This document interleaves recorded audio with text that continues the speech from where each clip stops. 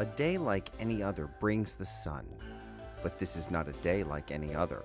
It's day one of NASA's Robotic Refueling Mission, or RRM. The action is on the International Space Station, but also on the ground. Aimed at developing capabilities for servicing, even refueling spacecraft on orbit, RRM is like doing precise surgery at a distance, doctor and patient separated by the void and vacuum of space. It's tough, but the payoff is huge. No refueling on day one, however. That's day five. Today's goal unscrewing a mechanical cap. But first, the team has to get through a locking wire. Ground controllers at the Johnson Space Center in Houston, and engineers using the high fidelity mock up here at Maryland's Goddard Space Flight Center wait.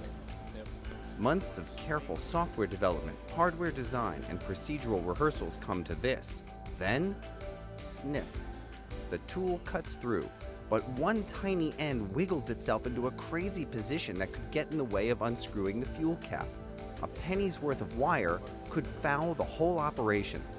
Smart people get to work. And that's the point of RRM test, test, test, and learn everything possible from what happens next. Once flying, satellites are uncooperative creatures, and learning how to tame them in space takes patience and wits.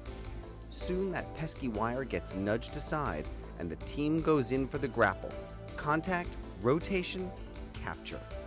Day one, complete. But check back. RRM continues.